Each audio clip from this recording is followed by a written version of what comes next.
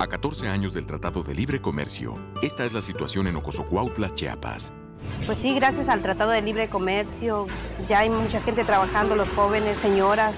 En el pueblo se ha visto bastante mejoría, mucha gente pues que ya ha comprado sus casas, mucha gente se, se anima a seguir estudiando, nos estamos superando. Ahora un chiapaneco puede hacer lo mismo que hace un japonés, un norteamericano. Para que todos vivamos mejor. Gobierno de la República.